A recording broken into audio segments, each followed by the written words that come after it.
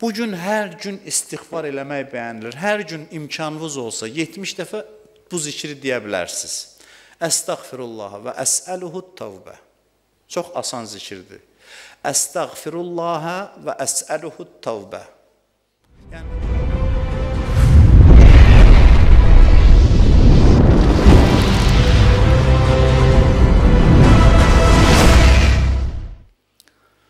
Bacardığınız qədər Nə qədər gücünüz çatır? Bu ay hələ qabaqdadır. Bacardığınız qədər bu ayda oruç tutun. Nə qədər gücünüz çatır? Bir gün, iki gün, üç gün, ondan daha çox nə qədər bacarırsınız? Bəzi adamlar da bir ay tutur. Gücü o qədərdir.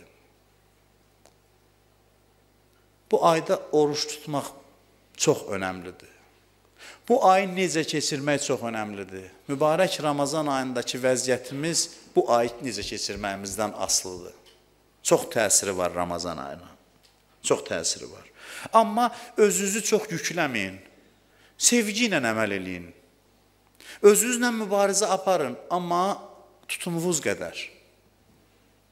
Hala havaya düşüb tez özünüzü yükləməyin ibadət gərək tutumu qədər olsun insanın. Vacib ibadətdən əlavə ibadətlər. Tutumu müəyyən elə, deyirən ilahi gücüm buna çatdı. Mən də bunu elədim. Çox şey verərlər buna. Bu gün hər gün istighfar eləmək bəyənilir. Hər gün imkanınız olsa 70 dəfə bu zikri deyə bilərsiniz. Əstəğfirullah və əsəluhu tövbə. Çox asan zikirdir. Əstəğfirullah və əsəluhu tövbə. Yəni istighfar edirəm, bağışlanmaq istəyirəm və sənin də mənə tərəf dönməyi istəyirəm. İlahi, mən sənə tərəf gəldim, sən də mənə tərəf gəl. Sən bunu deyirsən, Allah deyir elə mən gətirdim səni, özüm gətirdim, özüm də elə sən mənə tərəf dönməmiş mən döndüm ki, sən gələ bildin. Amma sən belə denən. Denən əstəğfirullah və əsəluhu tövbə. İstighfar halında ol. İstighfar halı gözəl haldır. Yaxşı ki, birinci xütbə mənim köməyimə çatır bunları sizə. Ona görə şərh eləmirəm. İstighfar halı bəndəliyin halıdır, təvazökar hal. İnsan Allah qarşısında biraz baş aşağı olanda Allah onun başını ucaya qaldırır. Bəndəlik halı istighfar halıdır. İnsan bəndədirsə, Allah da Allahdırsa onun huzurunda təvazökar gəzir. Nə qədər mehriban danışır günahkarlarla. Baxın Qurani-Kərimə. Ya ibadiyəllezine əsrəfu alə ənfusihim. Adama ləzzət eləyir, müraciəti ləzzət eləyir. Ey özünə zülm edən bəndələrim. Bəndələrim sözünə baxın, ey bəndələrim. Yəni ey övladım, oğlum, ya ibadiyəllezine əsrəfu alə ənfusihim. Yəni siz bəndəlikdən qaçdınız, mən sizi bəndəlikdən çıxartmadım. Siz mənimsiz, mənim bəndələrimsiz. La təqnətu min rəhmətillah. Allahın rəhmətindən ümidsiz olmayın. İnnallaha yaghfiruz zunubə cəmi'a. Allah bütün günahları bağışlayır. Bundan artıq nə desin bizə? Hansı dillə bizi çağırsın? Allah günahkarlarla bir alimdən eşitmişəm bu sözü. Çox mənə təsir eləyib. Bir dəfə də Qədir gecəsində demişəm. İndi də qismət olsa deyərəm yenə. Nə olar ki, təkrar orada da deyərəm. İndi də deyirəm. Deyir, o qədər mehriban danışır günahkarlarla. O qədər vədlər verir günahkarlara ki, böyük insanlar görür, tamaha gəlir. Hamısı özünü aparır, salır günahkarların cərgəsinə. Görür ki, günahkarlarla çox xoş danışır axı. Odur ki, gedirlər başqa şeylərə yox. Dillər elə biz də salaq özümüzü bu cərgəyə, bunlara çox şey verirlər. Fikir verirsiniz? Ona görə övliyalar ən günahkarların e, dili ilə danışırlar Allahla. Çünki görür ki, bunlara nəsə xas xüsusi mərhəməti var. Peyğəmbər də deyir, gedin mən də onların cərgəsinə özümü salım. Əleyhissalam da elə deyir, İmam Səccad da elə deyir. Bütün övliyalar. Günahkarlara o qədər nəvaziş eləyir ki, böyüklər heç biri demir, mən böyüyəm. Deyir, elə mən günahkaram, ən günahkarı mənəm. Görür axı günahkarlara mehriban. Ona görə hamı günahkar olmaq üstündə dava eləyir bir-biri ilə belə deyək. Günahkar olmağını qabardır. Bu dəstəyə daxil eləyir özünü. Bu ayda sədəqə vermək çox gözəldir. İmkanınız olan qədər çalışın başqalarına faydalı olasınız.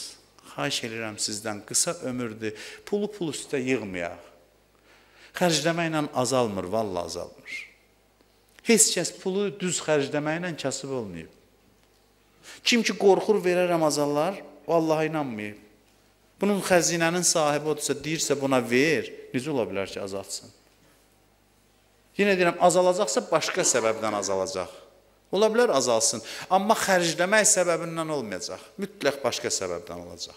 Xərcləyin, gücünüz çatan qədər az olsun, imkanınız nisbətində xərcləyin. Hətta deyir xurmanın yarısı ilə belə. Yəni o varlılar o saat deməsin, elə xurma bəsdir. Varlının amma kimin imkanı yoxdursa bir xurma ilə də biz xurma hissəsini eşidirik o saat. O saat hamı gedir xurma alır, gəlir dayanır məscidin qapısında. Bu qədər söz danışsan infaqdan, sədaqədən eşitmir. Xurmanı tez eşidir, gəlir onu verir ki, hədisdə xur xurmanı deyib o adam üçün ki, başqa heç nəyə imkanı yoxdur. Nə qədər xurma yedizdirəcəksən cəmaata. Ona görə də sədaqə bu ayda çox fəzilətlidir, çox üstündür. Əlindən gələn qədər başqalarına sədaqə verəsən. Hətta bunu da deyiblər ki, var dövlətiniz yoxdursa gülüşlə, təbəssümlə insanları şad eləyin. O da olmayanlara aid var dövlət. Bu da belə. Və hədisdə var ki, Allah cəhənnəm odunu haram edib bu ayda sədaqə verənlərə. Cəhənnəm odunu haram edib.